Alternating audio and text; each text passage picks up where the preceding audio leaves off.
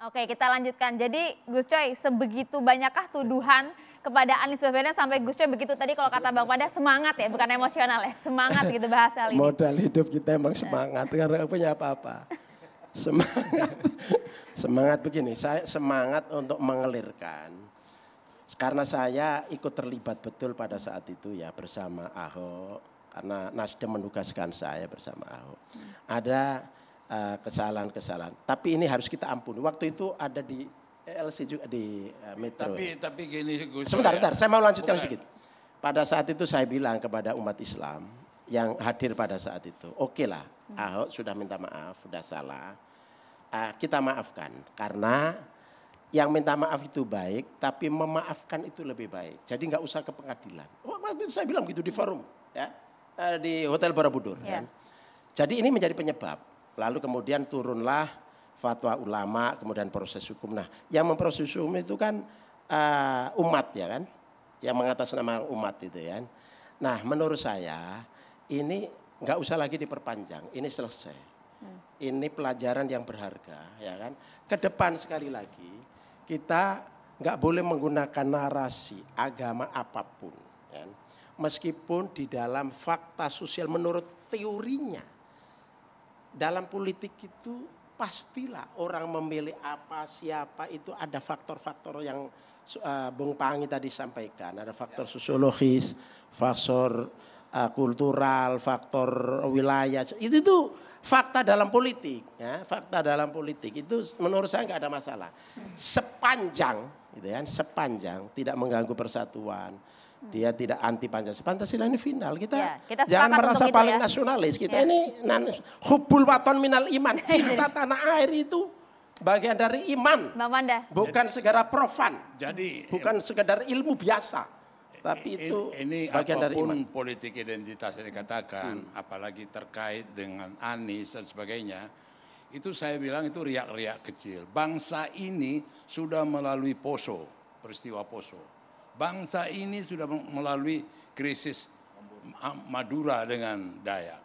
Bangsa ini sudah melewati konflik-konflik identitas yang menjadi pelajaran gitu loh. Mohon maaf lah, ka- kasus ada ini kepada Anies ini soal kecil-kecil, soal riak-riak kecil-kecil gitu. tadi cukup dirasakan banget dampaknya. Loh, enggak, enggak, saya mau kasih tahu bangsa ini bangsa besar. Oke. Saya tahun 60-an masuk Jakarta, itu masih perkelahian antar suku. Di- Perebutan Jalan Sabang, perebutan Sarina, antar suku. Orang Batak masih main tikam-tikaman dengan orang are-are, bangsa orang Ambon dengan apa masih kan.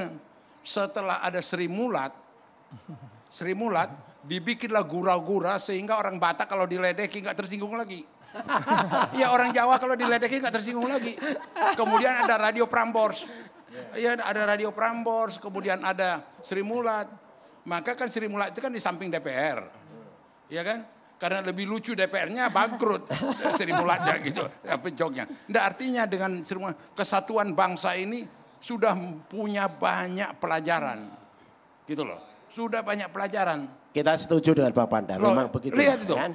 Kurang dahsyat apa itu? Sa- sayang Pak Yusuf Kala nggak ada. Kok masih ada yang menggoreng isu itu Bang Panda sampai apa sekarang? ya? Nggak laku juga, maka itu. Nah, Maka oleh, itu dengar dulu bersandarlah ke- dengan PDI Perjuangan.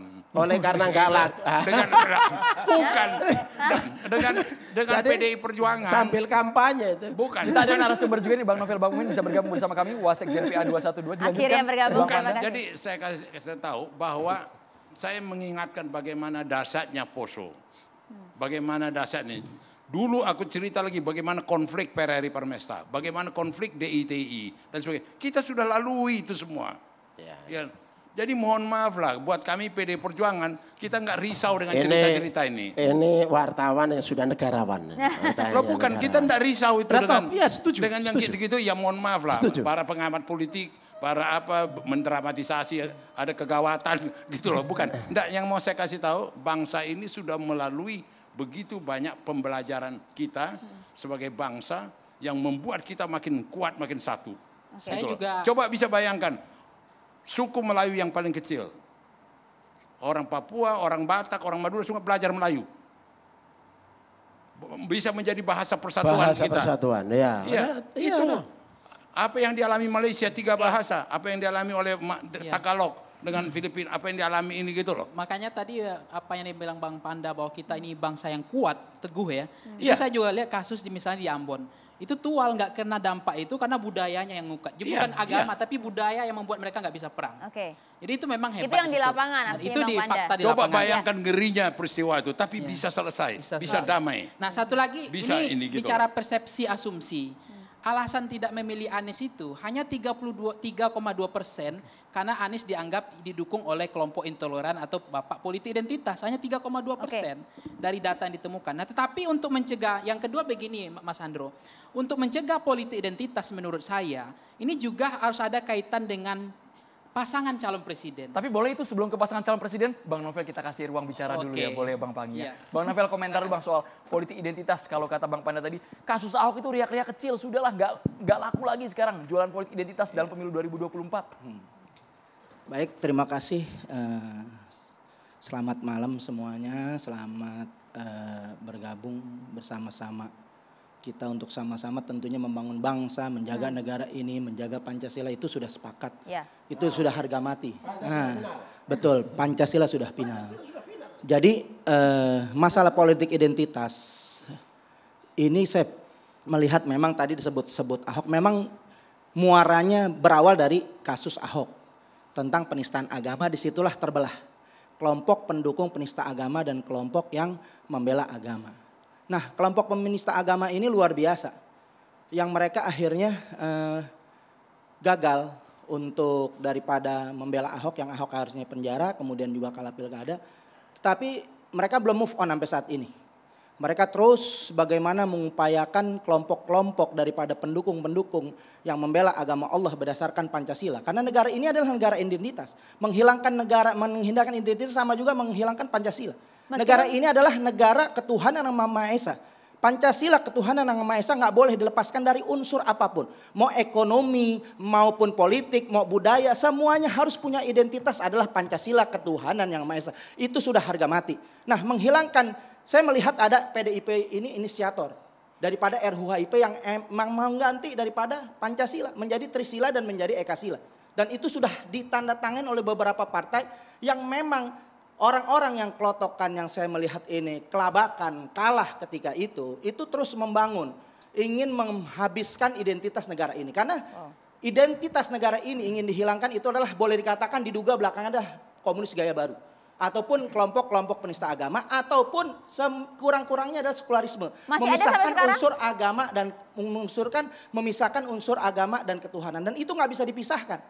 Karena fatwa MUI sampai saat ini masih berlaku tahun 2005 nomor 7 sekularisme itu haram. Memisahkan politik dari agama adalah haram.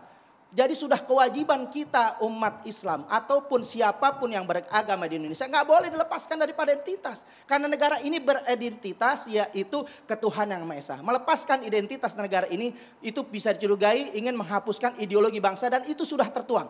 Mereka sudah kalah. Akhirnya mereka me- mencoba mengubah daripada konstitusi. Kita taat kepada konstitusi selama konstitusi itu tidak menyimpang daripada Ya. ayat-ayat suci. Oke. Yang selama ini Pancasila sesuai dengan ayat-ayat suci. Karena memang itu warisan ulama. Warisan penerus daripada ulama, rumusan ulama Pancasila. Sehingga unsur ketuhanan yang Maha Esa itu pasal 2, 3 dan 4 nggak boleh dilepaskan daripada ketuhanan yang Maha Esa. Bahkan kebudayaan Bhinneka Tunggal Ika itu nggak boleh dilepaskan daripada ketuhanan yang Maha Esa. Kita harus terikat dengan ketuhanan yang Maha Esa. Melepaskan identitas negara ini ini sangat berbahaya. Ini perbuatan makar. tapi, ini oke. perbuatan makar dan yang melanggar makar itu dari inisiator PDIP sudah kita laporkan Hasti, ha- ha- ha- apa Astiato tuh eh, inisiator PDIP dan ber, eh, Dika Cipta dia Pitaloka begitu juga mungkin ada unsur Dikap Citaning Proletariati yang memang kita lihat ada unsur-unsur ingin menghabiskan memangkas Pancasila. Sampai Jadi- saat ini tidak. Sampai saat ini eh, mereka yang kalah dengan EUHIP, mereka juga dengan kalah dengan pendukung-pendukung Ahok, mereka melancarkan membentuk opini yaitu untuk Oke. menghancurkan daripada orang-orang yang mendukung daripada politik identitas. Ya. Kita beri kesempatan Jadi dulu untuk sah, PDIP. sebentar saya sebutkan. Jadi sah, negara ini dilindungi oleh Undang-Undang Dasar 1000 Undang-Undang Dasar 1945, negara menjamin kepada penduduk-penduduknya untuk memeluknya agama masing-masing. Jadi ah, politik identitas ini harus dilindungi. Itu hak asasi manusia. melanggar daripada hak asasi manusia itu adalah melim- menghal- Bukan suatu keharaman ya? Bukan suatu keharaman. Justru MUI menyatakan memisahkan agama dan politik itu haram, bukan dinyatakan sebagai orang Islam Oke, lagi. Terima Bang kasih. Panda. Alhamdulillah. Alhamdulillah apa bang? Jadi berubah pikiran Harus Bang. dilanjutkan itu. Puji tahu saya, Tuhan. tahu saya yang dimaksud itu PDI mana. Artinya tidak PDI itu justru mempertahankan identitas karena identitas lah maka bangsa ini ada negara ini ada. Maka itu saya heran Pancasila menjadi Trisila, Ekasila itu teori-teori yang tidak fundamental meng- mengapakan Pancasila. Itu hanya semacam satu bagaimana menjelaskan secara pragmatis, bukan menjadi sikap atau apa dari melakukan pemerasan pengapaan begitu. Maka lebih bagus masuk aja ke PDI dulu. Enggak bukan. Bang Novel, Artinya tidak nggak dengar ada dulu. itu ya, Dengar dulu. ada sama sekali nama-nama Iya, sama sekali seujung rambut pun tidak ada mau merombak apa identitas. Ini memang sudah takdir kok. Dilahirkan sebagai Islam, dilahirkan sebagai Kristen, dilahirkan sebagai Hindu, dilahirkan sebagai Buddha. Dan tidak ada PDIP memainkan hal ini ya. Nggak ada untuk apa gitu loh. Jadi Oke, apalagi mau merubah Pancasila. Pancasila itu sudah final. Pancasila itu sudah selesai. Macam mana mengoperasionalkan sekarang? Bagaimana? Saya percaya yakin karena Pancasila lah bisa Iya. Indonesia ini kuat. Karena Pancasila lah bisa selesai PRRI Permesta tanpa PBB, tanpa negara lain. Oke. Bisa Ya. selesai Poso, bisa selesai semua peristiwa Ambon, bisa selesai peristiwa Kalimantan. Itu karena Pancasila. Gitu loh. Itu Makanya tadi Bang- itu Bang bukan Panda- lagi yakin, Ainul yakin, hakul yakin. Luar biasa. saya ini biar jelas dulu. Merdeka. Nasionalis Merdeka, religius. merdeka. Uh, jadi uh, makanya kalau saya tadi bicara lebih kepada politik identitas itu Bang Andro, itu juga disebabkan disebabkan oleh calon presiden kita itu hanya dua pasangan. Nah itu juga bisa memantik karena bipolar dihadap-hadapkan. Nah itu ketika dikentalkan dengan polarisasi isu, kemudian disambut dengan sentimen yang lemah tadi, itu masuk.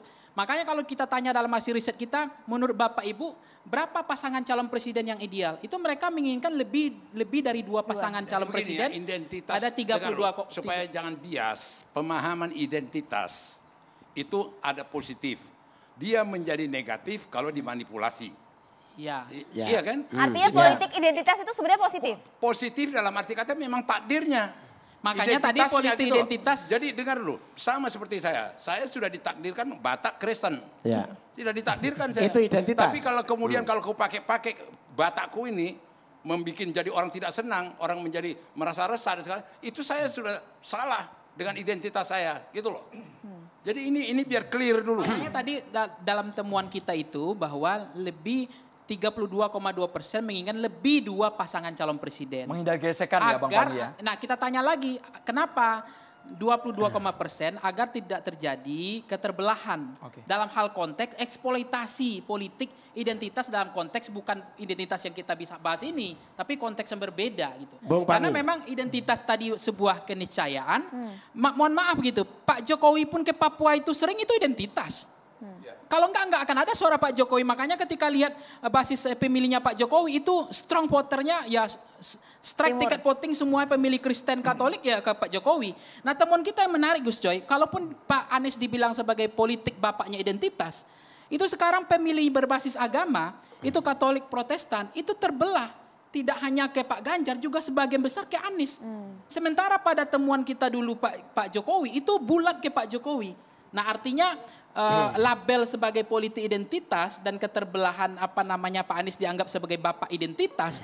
Ternyata mungkin karena pengaruh Pak Jo- Pak Anies sering ke gereja khutbah juga mungkin atau sering Pak Anies ke Papua juga. Jadi dalam arti Nah, itu kan positif maksudnya identitas, ya? Dalam arti identitas. positif. Ya. Ya, artinya- Nah, artinya sekarang kenapa pemilih yang di luar agama non Islam juga ternyata banyak juga memilih Anies gitu.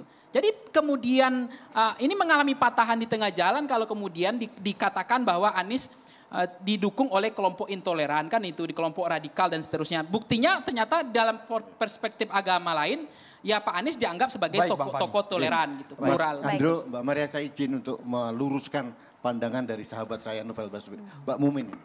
Eh, yang pertama ada beberapa hal yang diluruskan. Yang pertama bahwa Pancasila itu mungkin harus belajar sejarah lebih detail lagi. Yang merumuskan bukan hanya sekedar ulama dari Islam. Ada tokoh-tokoh Katolik. Tokoh-tokoh Kristen terlibat di sana. Jangan me- menyesatkan opini publik bahwa seolah Pancasila itu produk dari ulama dari Islam. Ulama Katolik juga ada waktu itu. Nah, satu. Maramis, IJ Kasimo itu Katolik. Nah, yang kedua, tidak benar bahwa pendukung Ahok sampai sekarang tidak umum. Tidak, tidak ada hubungan dengan Ahok. Yang kita jaga nih, Bang Novel, jangan sampai politik Ini, ini. ini dulu, sudah saya terbelah. Ini sudah terbelah. Enggak, Bukan, bukan, saya bicara dulu. dengan cebong Anda bicara saya diam. Kita selesaikan Selesaikan dulu. dulu. Bang Novel, saya baca dulu ya. Nanti kita Bukan, berikan kesempatan Anda bersama. bicara, saya diam. Saya Langsung, dengarkan. Mas Rudi Ya. monggo Mas, langsung Mas ke Artinya apa? Tuduhan itu bahwa kami ini seolah-olah pendukung Ahok, pendukung tuduhan, pendukung ini realita. Kadun dan Cebong sampai saat ini nggak pernah berhenti. Dan ini sampai saat ini terbelah dua. Itu harus bertanggung jawab. Iya, Penyelenggara negara harus bertanggung Sekarang jawab. tidak ada lagi Atas terpecahnya belah bangsa, adu domba bangsanya. Loh, Kenapa? Tidak Gara-gara ada itu, meneriakkan tidak ini. ada itu tuduhan Itu sepihak dari boleh. Anda. Tuduhan sepihak dari Anda. Dari kita tidak menginginkan kejadian itu lagi. Ya, ya. Tidak menginginkan. Jangan diungkit-ungkit juga dong berarti bang. Kenapa? Jangan diungkit-ungkit juga dong. Kalau berarti. nggak menginginkan nggak Bukan, itu presiden ini mengingatkan. Anda Presiden intoleran mengingatkan kalau Anda meng, jangan terjadi anda, lagi anda politik identitas. daripada politik identitas. Tidak anda boleh intoleran, terjadi Anda lagi. intoleran. Oke. Iya. Anda intoleran. Ada Sebagai toleran toleransi juga. Segala Bukan perbedaan bineka Jangan menyesatkan. Bang Novel. Perbedaan Bergantian bangsa. boleh bang? Bergantian. Bergantian bang. Statementnya bergantian, Ini- kita harus jadi Kita catatan tahan Dewan. dulu. berbahaya. Kita tahan dulu langsung santai. berbahaya. Belah. Seolah-olah Bang Anda buzzer, Bang Anda Novel, bicaranya bergantian. Bang Novel, kita tahan Bicaranya dulu. bergantian. Kita akan Kita kembali dulu, Bang. sesaat lagi. Tetaplah bersama kami di catatan demokrasi. Kita tahan dulu bang. Kami akan kembali sesaat lagi untuk anda. Aku mau ketemu.